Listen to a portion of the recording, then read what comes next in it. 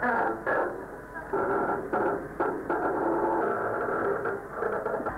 it's that time of the day to take a trip on the Yellow Sub and have a look at John Brewer Reef.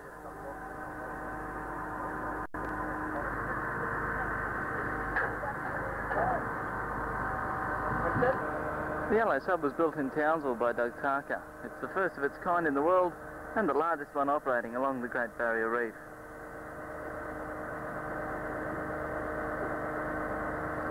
The vessel can accommodate 55 passengers.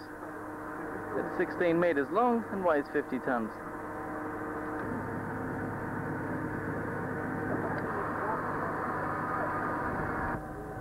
We'll be going out to an area not far from the hotel, out to the, the entrance in the lagoon where we came in with the Reeflink 2 earlier in the day.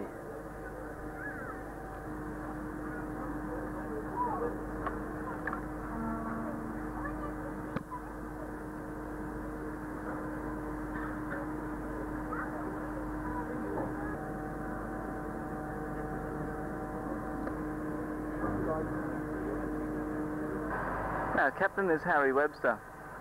To drive the sub, he has to juggle around a system of five levers and two switches. It's powered hydraulically by a six-cylinder Perkins diesel engine. That engine, located at the stern of the sub, powers two hydraulic pumps, which then drive six individual propellers. The glass in the sub is one and a half inches thick, and even if you took it out, it's unsinkable, supported by the two pontoons you see there on either side of the vessel.